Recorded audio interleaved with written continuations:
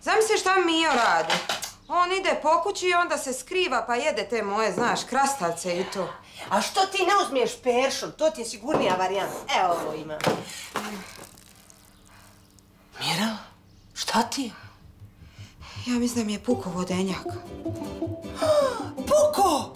O, Mirela, pa ti ćeš šta stvarno roditi? Ne, me novi put je za pravo. Pa, pa, pa, pa, pa, pa, pa, ne, ne, nemoj, nemoj pančit. Aj, aj polako, aj polako tu do friždera. Aj polako, aj polako. Aj sad, sad, nemoj pančit, samo diši, aj diši. Tako, tako, tako. E, Nediljko, Nediljko, sačekaj ti sam da se mi organizujemo, aj diši. Nediljko, brzo! Šta je? A gdje si ti, Mirelica? a? Prestani s tim glupostima, mala se pravo porađa.